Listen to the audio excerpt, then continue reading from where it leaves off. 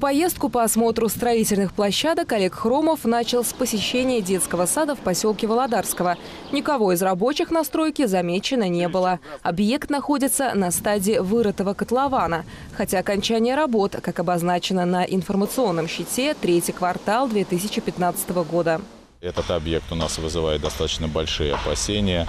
Я думаю, что мы э, будем применять предусмотренные законом меры воздействия, соответственно, к тому подрядчику, который выиграл конкурсные процедуры в 2014 году. В меньшей степени волнения вызывает объект Молоковская участковая больница.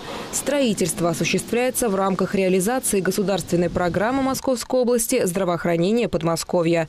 Подрядчики должны построить амбулаторно-поликлиническое отделение на 100 посещений в смену для взрослых и детей и стационарно 36 коек.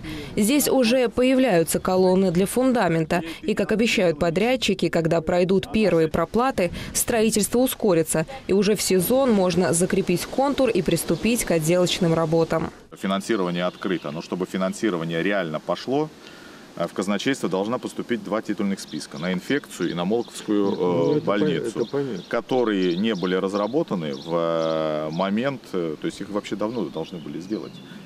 Следующий объект, который посетил глава Ленинского района, это детский сад «Кораблик» в сельском поселении Развилковское. Он находится в высокой степени готовности. Заложен фундамент для строительства пристроек новых помещений для групп. Реконструкция детского садика может быть закончена в срок при условии увеличения числа человек на строительных и отделочных работах. Не всегда э, поставщики материалов, например, э, выполняют свои обязательства. Бывают задержки. Это, конечно, в общем-то, я считаю, что это не наша вина, но мы стараемся, так сказать, э, выйти с честью из этой ситуации. Поэтому, в общем-то, те усилия, которые мы прикладываем со стороны руководящего состава, э, ребята очень хорошо здесь на стройке работают. Вот. Э, для усиления, так сказать, заходом, вернее, для контроля за ходом строительства у нас здесь бывает и главный инженер, и я постоянно нахожусь, так сказать, как куратор э, этой стройки. Вызывает опасения строительство детской школы искусств в поселке Развилка. Даже чтобы подойти к объекту, приходится идти вдоль шоссе. А предполагается, что в будущем по этой дороге дети пойдут в школу. Сейчас на стройплощадке производятся работы по рытью котлована. Но информационный щит о том, что за строительство здесь ведется, отсутствует.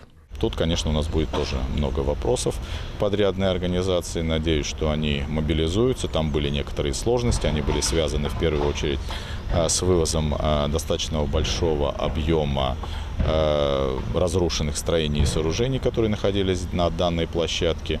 Мы в том числе за счет возможностей муниципалитета и так скажем, спонсорских организаций смогли э, помочь в освобождении данной площадки. Сегодня ничего не мешает для того, чтобы производить строительство и чтобы это строительство было закончено в установленный срок. Последним объектом, который Олег Хромов посетил в рамках своей рабочей поездки по осмотру строительных площадок, стало инфекционное отделение Видновской районной клинической больницы. Строительство на нулевом цикле. Отставание в работах примерно на два месяца. Подрядчик заверил, что уже в зиму они должны уйти в отделочные работы и в марте 2016 года сдать данный объект в Московскую область. Такие рабочие поездки Олег Хромов будет проводить как минимум раз в две недели, а также особое внимание уделять объектам на территории Ленинского района, строительство которых ведется за счет средств города Москвы. Наталья Буслаева, Алексей Иванов, Елена Кошелева, Видное ТВ.